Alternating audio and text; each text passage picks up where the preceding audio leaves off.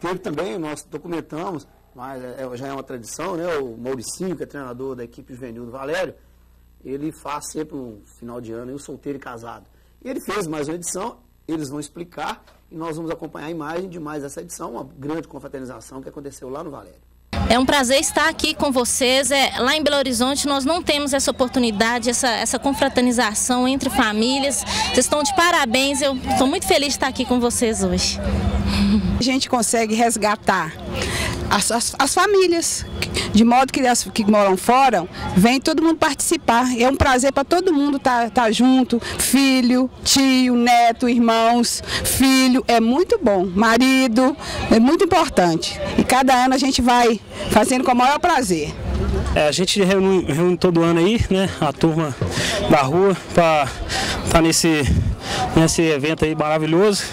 E todo é isso aí, a gente tem que não pode deixar morrer essa, né, essa, essa confraternização que a gente faz todo ano. E é uma maravilha, a gente tá reunindo toda a turma toda, os familiares todos presentes aí. E é isso aí, muito bom. Encontro, onde vem família, vem amizade, vem namorada.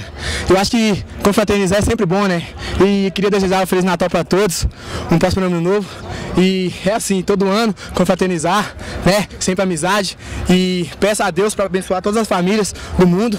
E é isso aí, então de parabéns. Ah, o terceiro ano, casado contra solteiro, as esposas também jogam, os filhos, sobrinhas é, participam, né? Já você filmou, vai passar também essa situação muito, muito importante, muito gostosa. E o jogo aqui, casado e solteiro, não tem brincadeira não. A garotada pega pesado, os casados também, parece até que treinam o ano inteiro para estar tá jogando esse joguinho aqui, que é muito importante.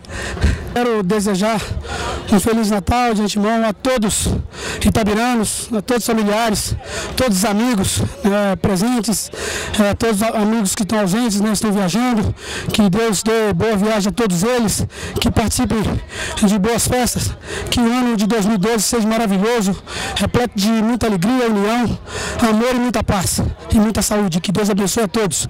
É, mais uma vez, é, estamos aqui confraternizando a Capitão Tomé, é o terceiro ano, é muito bonito. É, a gente está é, focalizando, filmando essa situação, que é de importância muito grande, a união da Capitão Tomé, a alegria alegria, né? Tá aqui todos os familiares, é muito, é muito gostoso isso. É, e eu tenho plena certeza que a gente vai dar sequência, a cada ano está melhorando a, a, mais e mais para a gente estar tá podendo é, curtir com muito prazer isso aí.